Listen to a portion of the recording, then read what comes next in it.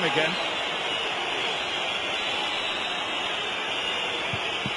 Wall did it still. Oh, it's in! Well, it's almost a free goal in the end. Ibrahimovic will claim it because it was on target. But a freak deflection. Goalkeeper completely wrong-footed and Manchester United lead. Is it very clever from Ibrahimovic? Has he anticipated the wall jumping and has he intensely hit it under it? Not so sure. I think it's gone through the legs. It's Pogba, doesn't it? Or does it come off Martial? We're going to see here. He's hit it. Yeah, it comes off Pogba. Martial knows nothing about it. Perrin can't get there. On target, as you rightly saying.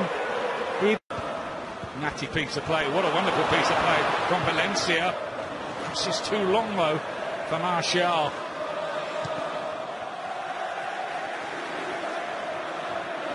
Manchester United, you feel, will be trying to fire with both barrels now. Rashford, who's just come on. Real speed. Ibrahimovic, 2 0. In again. Always in the right place, always at the right time. And United now have that two goal cushion.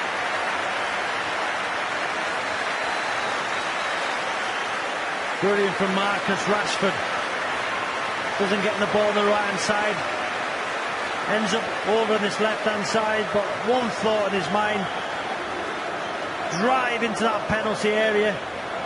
Goes past Selnaes, goes past Catherine, and the goalkeeper gets it. decent left arm on it. Ball